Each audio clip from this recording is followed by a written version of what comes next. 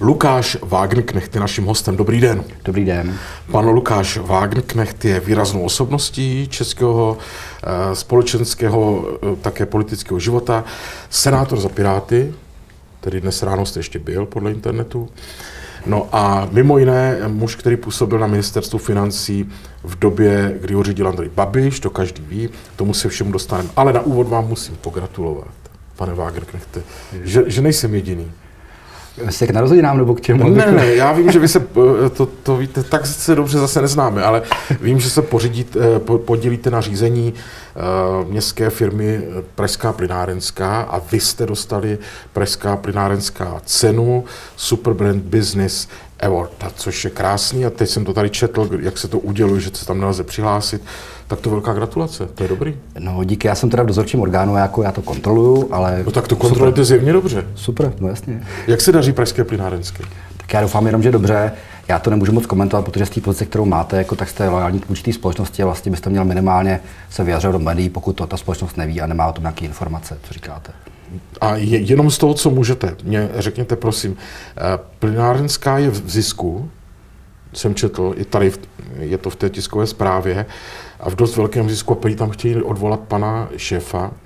Vy jste jako dozorčí orgán pro odvolání nebo pro to, aby tam zůstal? Uh, tak uh, to odvolání formálně, pokud by proběhlo, tak by ho dělali členové dozorčí rady, ale ještě jednou říkám, já se jako nemůžu moc vyjadřovat jako do médií, protože uh, když jste v tom orgánu, tak jste ovládní určitý společnosti a cokoliv byste říkal, by mohlo nějakou formu ovlivnit její fungování.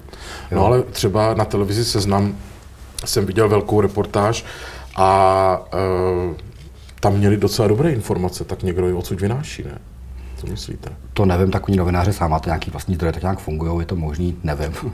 No a teď je údajně nějaká sepsaná smlouva, že se nesmí pod nějakou velkou pokutou o tom nic říkat, to je pravda? Ježíš, to byla hrozná, to byla, to o tom mluvit můžu, to byla no, tak story, vidíte, vidíte, vidíte, že se rozpovídáme. No, no jasně, uh, akcionář, to znamená rada, nebo vlastně radní, chtěli nějakou mít zpětnou vazbu od managementu a proběhla nějaké společné jednání a tam ten management přišel právě s tím, že pokud by tam kdokoliv z té rady měl být, tak by měl mít pokutu milion korun, pokud by se cokoliv nějak vyneslo ven. Milion to, korun? Milion korun, no, no. To mysleli, jakoby, aby to nějak jako probíhalo. Bylo to trošku spíš zábavný, to máte jako kdyby primátor třeba ve Vídni chtěl se bavit s šéfem svého dopravního podniku a on mu řekl, pojď se povídat se mnou, když mi dáš, ale pokud to milion korun, když něco uteče, s tebou povídat jinak nebudu. No. Je pravda, pane Wagenknechte, že to představenstvo nechce poskytovat informace?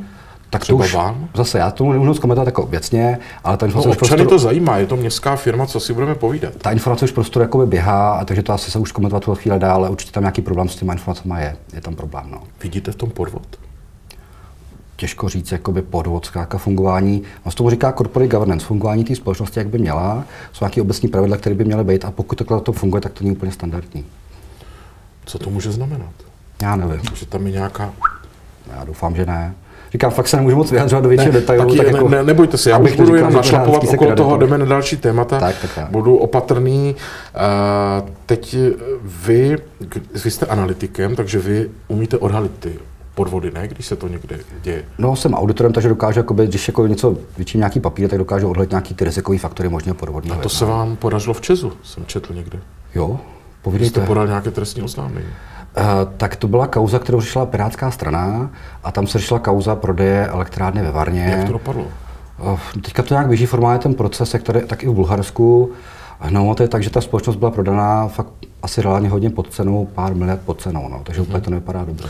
A v té pražské plynárenské podáváte nějakou, uh, nějaké trestní oznámení na někoho? No, ještě nás nemůžu vyjadřovat, protože jsem pražský penárenský do většího detailů, ale nějaký trestní řízení tam běží, jako by to už asi myslím je probléma médiama, takže tak něco tam běží. Určitě. A vy podáváte? Já osobně, říkám ještě jednou, nemůžu se jako člen začít vyjadřovat jako obecně k těm vlastně. Ježiš, vy jste mě zlej dneska.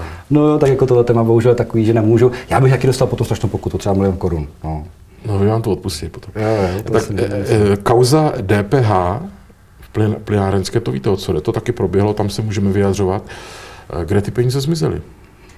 Tak já jsem pochopil někde v nějakém offshore, někde, já nevím, si v Rumunsku, Bulharsku, někde, se, někde utekl někam úplně, během chvilky byly jakoby pryč. No. Během chvilky? No. Co to je během chvilky? A tak ta kauza, jak probíhala, tak ta společnost, bylo to nějak, nějak v minulosti, bylo to popsané, vlastně začala obchodovat s nějakou jinou společností, která měla být partnerem dodávání plynu. Za tou společností stál nějaký pán, který měl sídlo někde v zahraničí A tam byl ten problém, že ten pán nebyl, nebo ta jeho firma plácem DPH, ale peníze jako DPH mu byly zaplacený a pak to během chvilky uteklo na nějaký účty někam do zahraničí. No, protože já jsem teď z toho trošku nervózní, když je to firma městská, tedy při hmm. troše fantazie nás občanů a někdo tam ukradne několik stovek milionů hmm. za DPH, tak uznejte, pochopte moji nervozitu. No to mi se taky nelíbí, takovéhle věci, to je strašný. No. no a kdo za to může? Může, může za to tedy management plynárenské? No, co jsem pochopil, Nebo já ten, posledních... nějaký ten pán, co to ve chvilce, jak jste říkal, ukradl? Tak primárně, pokud to ten pán ukradl, tak primárně on. Otázka, do jaké míry byla spolupráce na té druhé straně, to já nedokážu to v chvíli posoudit, ale nějaká odpovědnost by měla být vymožená. Uvidíme, jak to dopadne. Zatím to nic nevypadá. Říká vám něco jméno Petr Zmátlík? Toho pána jsem už viděl, no, říká. No. A ten tam hraje jakou roli? Byl to pán, který tam fungoval v minulosti v managementu, co vím já. A teď? Teďka tam už nefunguje. Už je pryč. No. Myslíte, že to je člověk, který s tím může mít něco společného? Nevím, já jsem mu to vy, vy jste ten auditor. No jasně, Koho jiného se mám zeptat, pane Wagner? Pana Janečka, ty se pana Janečka, který tam celou dobu seděl jako předseda představenstva a ten to měl celý na starosti, tak vám tomu řeknu no, určitě nejvíc. No ho pozvěte, Pozve, určitě. Protože to, to, to jsou věci, které nás zajímají. No. Poslední věc k tomu, řekněte mi, ta firma je zdravá nebo není?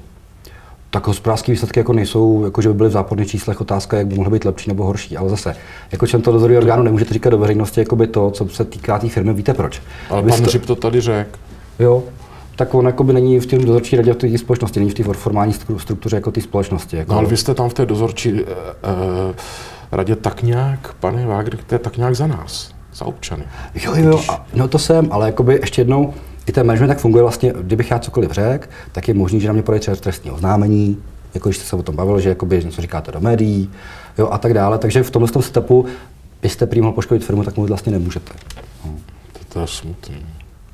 No. A je, ta, ta, takže je, je to úspěšná firma nebo není? Jdeme, jdeme od toho. Je to městská firma, nějak funguje, pojďme dál. Jak funguje? No. Kdy jste naposled mluvil s Andrejem Babišem? Ty, to už je několik let osobně. Naposledy a potkáte se někde? Tak, viděl jsem ho jednou v Senátu, když byl na plénu Senátu, tak jsem ho z dálky viděl, jak tam šel. A pozdravíte se? Tak jako osobně my jsme nebyli přímo u sebe, se zdravili nějak z dálky, ale eh, jako, že by za ním běžel, to tak nebylo určitě.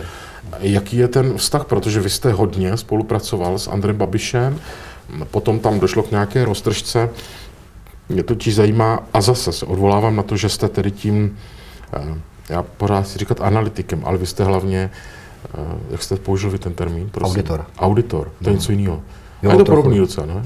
Jste udělal analýzu, ne? Je, je tam trochu toho víc, jakoby. No, no, tam mi doporučíte, jako co zlepšit jako to auditu. Jak se díváte jako auditor na to, že bylo zastaveno to trestní stíhání na Andreje Babiše? A tak já jsem se k tomu už i vyjadřoval jako věcně, já nechci, eh, mám nějaký právní názor, já víte, co v tom nechápu hlavně?